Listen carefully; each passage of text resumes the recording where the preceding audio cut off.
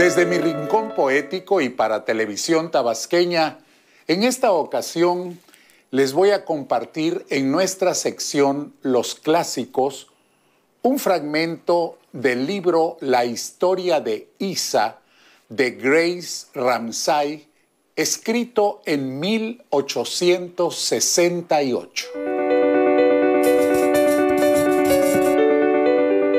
Y la gente se quedaba en casa y leía libros y escuchaba, y descansó e hizo ejercicios, e hizo arte y jugó, y aprendió nuevas formas de ser, y se detuvo, y escuchó más profundamente. Alguien meditó, alguien rezó, alguien estaba bailando, alguien se encontró con su sombra y la gente comenzó a pensar diferente y la gente sanó. Incluso la tierra comenzó a sanar.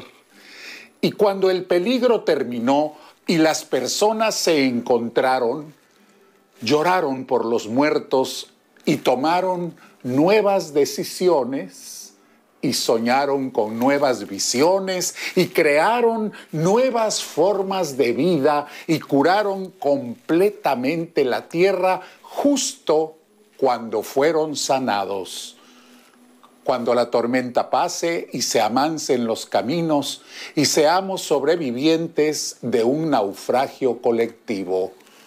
Con el corazón lloroso y el destino bendecido, nos sentiremos dichosos tan solo por estar vivos y le daremos un abrazo al primer desconocido y alabaremos la suerte de conservar un amigo. Y entonces recordaremos todo aquello que perdimos y de una vez aprenderemos todo lo que no aprendimos. Ya no tendremos envidia, pues todos habrán sufrido. Ya no tendremos desidia, seremos más compasivos. Valdrá más lo que es de todos que lo jamás conseguido. Seremos más generosos y mucho más comprometidos. Entenderemos lo frágil que significa estar vivos. Sudaremos empatía por quien está y quien se ha ido. Extrañaremos al viejo que pedía un peso en el mercado, que no supimos su nombre y siempre estuvo a tu lado. Y quizá el viejo pobre era tu Dios disfrazado.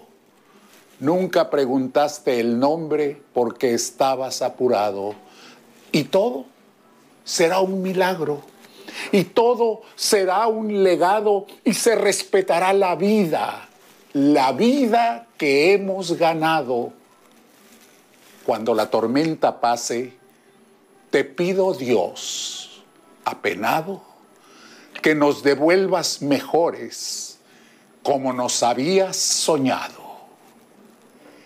Y amigos, si no tienen a qué salir de su casa, manténganse en ella, disfruten a sus familias, no se conviertan en un foco de contaminación. Si te cuidas tú, nos cuidamos todos.